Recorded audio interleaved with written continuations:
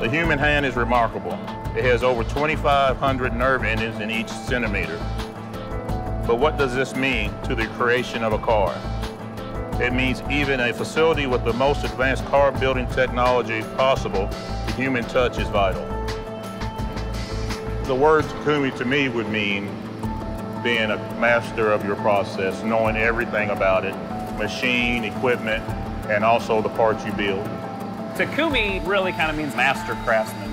So when we go through the training, we want our members to master their process. We had static training over on offline area, and then when they had the line, we had several months of online training on practice cars and even offline cars that we could practice on. And we had so many Japanese trainers coming over here. They would teach you, or show you different ways on how you can move, and it almost became like an orchestra.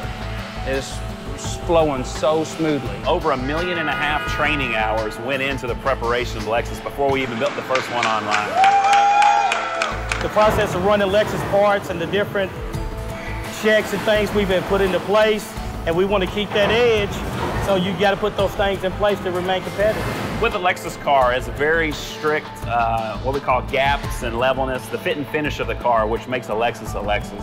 And so when we train them on their sensory tables, they're able to detect what a millimeter gap feels like with their fingertips or a two millimeter gap. The sensory table, there's four or five different areas that deal with, you know, the acuteness of your eyes. Reaching into a hidden box that you can't see in and have to count with, you know, with just by feel. Pulling out three or four different bolts at a time. That way you don't have extra parts going in the car that you could possibly drop and lose. Uh, as far as the sensory training, you run your hand around all of the um, edges of each part, making sure there's no uh, abnormalities within the gaps we let them rely on their sight, sound, and touch to know that it's correct. Those are things that equipment can't do for you. That's what's unique about Lexus Assembly. I teach them everything that I have learned and also what we're doing here at K as far as trying to do the same as the mother plant Kyushu of Lexus and uh, becoming that same status of having high quality.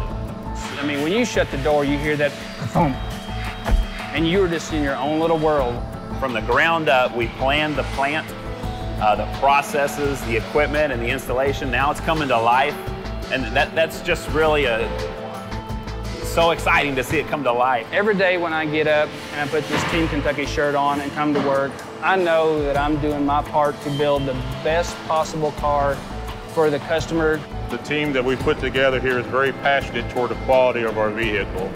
And I hope that all customers will appreciate the craftsmanship that we have in each car.